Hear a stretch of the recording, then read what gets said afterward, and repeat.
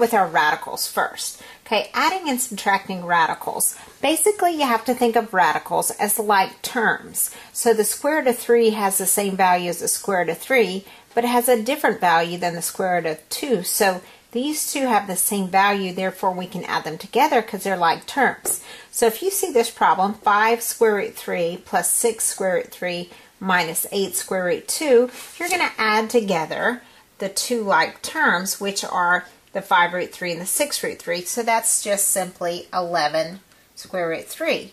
Now we can't subtract this 8 square root 2 because it is a different radical and the square root of 2 has a different value than the square root of 3. So we would just bring that down and that would be our solution. Okay, so adding, well, kind of like the like terms. Okay, so let's look at this one. We have the square root of 8 minus 3 square root 2.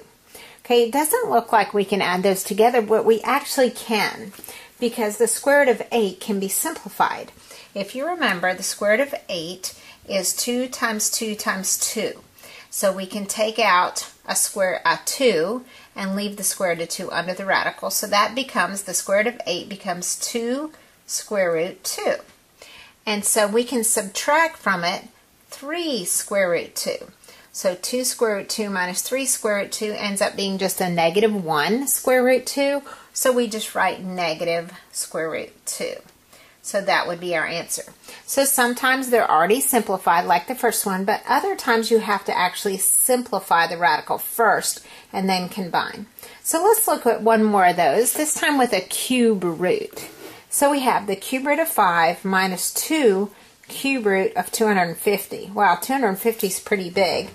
Um, how do we want to break that down? Let's look at, uh, it's an even number, so let's do 2 times 125.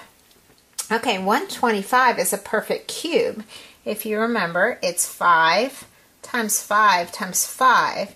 So there's a group of 3, so we can take out a 5, okay?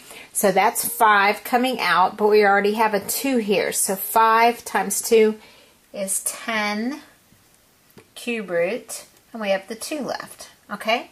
So we have 5, our cube root of 5 minus 10 cube root of 2. Can we combine those because they're both cube roots? No, we can't combine those. This would also have to be the cube root of 5. So that would be the final answer. Square or cube root of 5 minus 10's cube root of 2. Okay.